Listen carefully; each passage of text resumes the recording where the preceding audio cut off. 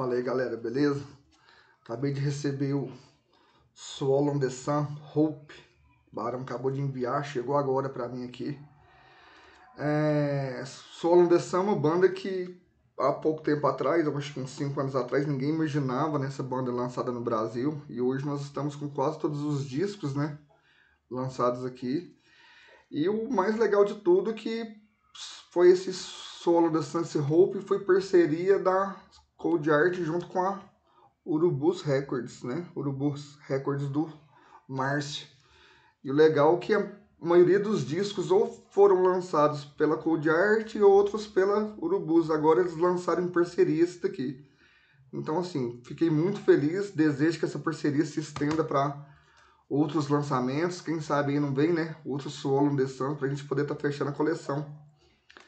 Esse álbum aqui foi originalmente lançado em 2007 Agora foi, relançado aqui. Ele vem com um slipcase. Conversando com o Barão, Barão que fez toda a parte de design desse material. Então o slipcase, tanto ele como a parte de, do encarte também. Ficou bem legal. O Barão então agora tá atacando na parte de design então, né? Muito bom, cara. Bem legal o material.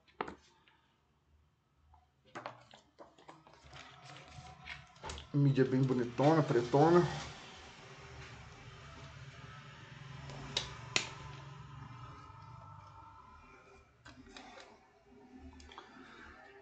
Esse CD aqui tem participação também do Jonas, do Catatônia. Então, sim, fiquei muito feliz. Tô faltando, acho que, dois discos agora para fechar a coleção.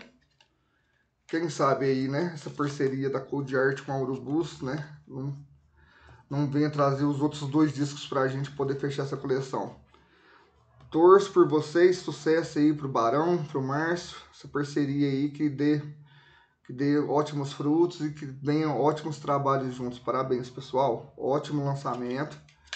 É, feito aí para colecionador mesmo, material muito bem feito, como sempre. Então, desejo sucesso nessa parceria. Obrigado, pessoal. Valeu aí, Barão. Na mão, cara.